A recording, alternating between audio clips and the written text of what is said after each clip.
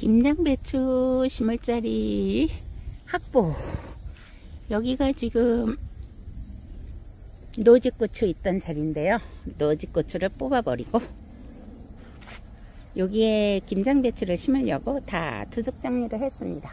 이렇게 노지고추는 벌써 뽑고 김장배추 심으려고 구멍 뻥뻥 비닐을 쓰고 여기는 구멍이 왜 세 칸이냐면은 배추는 두 칸으로다가 심을 거고요. 가운데는 들여주는 자리. 이렇게 해서 학포 긴장 배추 심을 자리입니다. 모종. 그래서 저도 텃밭에서 범부채꽃 구경하면서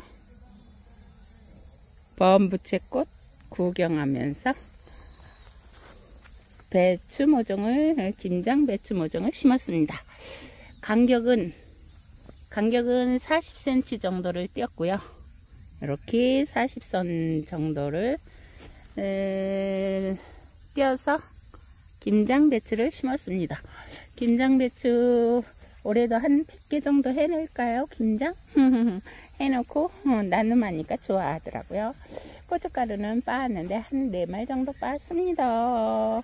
그래서 꽃규경도 하면서 오늘은 2023년 8월 26일 토요일 고춧가루도 빠오고 김장배추도 심고 1차 심은 겁니다. 나중에 또 더 심을 겁니다.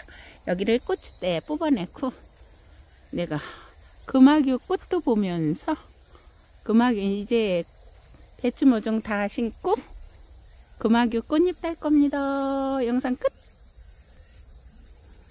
김장배추 심는 날에 꽃 구경하면서 여기로 딱 인증선 남깁니다. 금화규꽃 예쁘죠? 김장배추야 잘 살아라 짱 이렇게 심었습니다. 영상 끝! 파우세미입니다. 텃밭 농사 영농일지 김장배추 심은 날 이게 90일 배추로 심게 되는 겁니다.